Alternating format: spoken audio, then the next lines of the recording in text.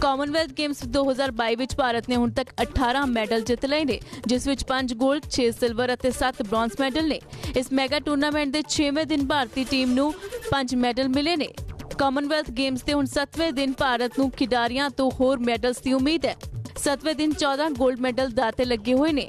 ਅੱਜ ਸ਼ਾਮ 4:30 ਵਜੇ ਬਾਕਸਿੰਗ ਦੇ ਓਵਰ 51 ਕਿਲੋਗ੍ਰਾਮ ਦੇ ਕੁਆਲੀਫਾਇਰਸ ਵਿੱਚ ਅਮਿਤ ਪੰਗਾਲ ਅਤੇ ਲੈਨਨ ਮੁਲੀਗਲ ਦਾ ਮੈਚ ਹੋਵੇਗਾ। ਸ਼ਾਮ 4:30 ਵਜੇ ਤੋਂ ਸਕੁਐਸ਼ ਦੇ ਵਿਮਨਸ ਡਬਲਸ ਰਾਉਂਡ ਆਫ 32 ਵਿੱਚ ਇੰਡੀਆ ਤੇ ਸ਼੍ਰੀਲੰਕਾ ਦੀਆਂ ਟੀਮਾਂ ਭਿੜਨਗੀਆਂ। ਇਸ ਦੇ ਨਾਲ ਹੀ ਹੋਰ ਵੀ ਕਈ ਮੁਕਾਬਲਿਆਂ ਵਿੱਚ ਅੱਜ ਭਾਰਤੀ ਚੁਣੌਤੀ ਰਹਿਣ ਵਾਲੀ ਹੈ।